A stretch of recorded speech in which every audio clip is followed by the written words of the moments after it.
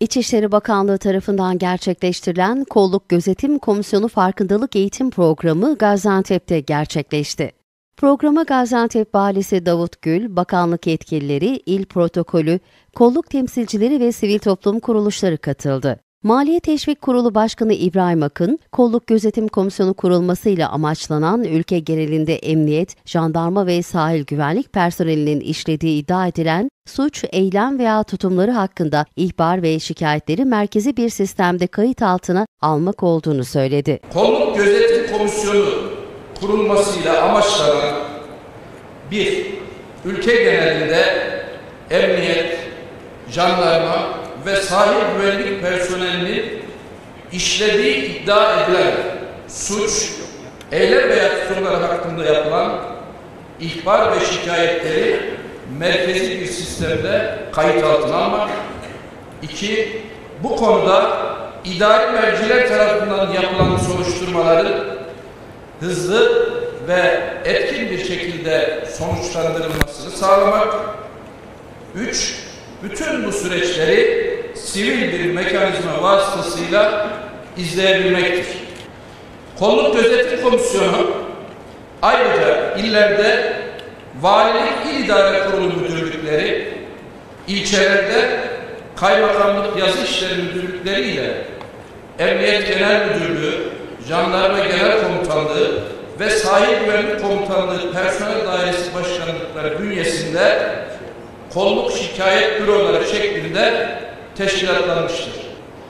Değerli katılımcılar, Kolluk Gözetim Komisyonu Kamu Farkındalığının Artırılması Programı'ndan 8.sini bugün Gaziantep ilimizde gerçekleştiriyoruz. Bu programda kolluk gözetimi ile ilgili toplumsal farkındalığı yükseltmeyi, görevli personele rehberlik etmeyi, konuyla ilgili mesleki bilgi ve becerileri paylaşmayı ve uygulamada birliktelik sağlamayı amaçlıyoruz. Sadece işin şikayet boyutu değil, beğenilerin de aktarılması gerektiğini ifade eden Gaziantep Valisi Davut Gül şunları söyledi. Çalışırken, işimizi yaparken, vatandaşa hizmet ederken hiçbirimizin bir mesleki taassubu yok. Dolayısıyla da binlerce kişinin birlikte çalıştığı bir ortamda takdir edersiniz ki yüz binlerce insanın birlikte çalıştığı bir ortamda işini eksik yapan, hatalı yapanlar da olabiliyor. Asıl olan bir irade ortaya koymak. Bu irade hem Cumhurbaşkanlığı makamında hem bakanlıklar maka makamında hem Sayın İçişleri Bakanımızın kendi iradesiyle eksikleri, yanlışları olanlarla ilgili bir çalışma yapılıyor. Bir ayıklama yapılıyor. Burada da bunun sivil boyutunun olması çok önemli. Kamuoyuna anlatılması çok önemli.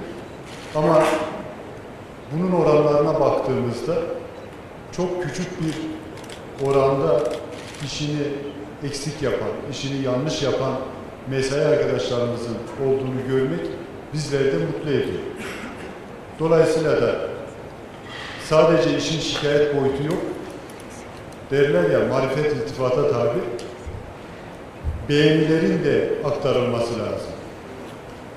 24 saat çalışan, kimi zaman iki gün üst üste görev yapan kolluk kuvvetlerinin vatandaşa dokunurken, vatandaşın o memnuniyeti tıpkı şikayetler gibi üst makama iletmesi hem arkadaşlarımızı motive eder hem de aslında bu çalışmanın amacına da hizmet etmiş olur.